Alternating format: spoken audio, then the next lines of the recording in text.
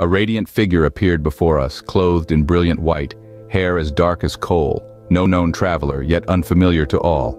Taking a seat before the Prophet, knees touching, he began, O Muhammad, define Islam. The Prophet replied, Islam is to acknowledge no deity but Allah and Muhammad as his messenger to pray, give zakah, fast during Ramadan and Hajj if possible. The stranger agreed, correct. He then inquired, and Iman? The Prophet responded, to believe in Allah, His angels, His books, His messengers, the last day, and divine destiny, both good and evil.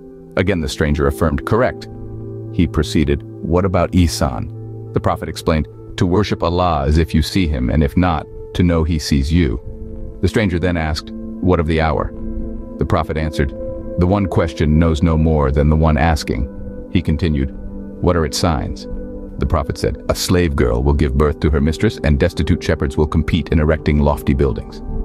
The man left. After some time, the prophet asked, Oh, Umar, do you know who asked these questions?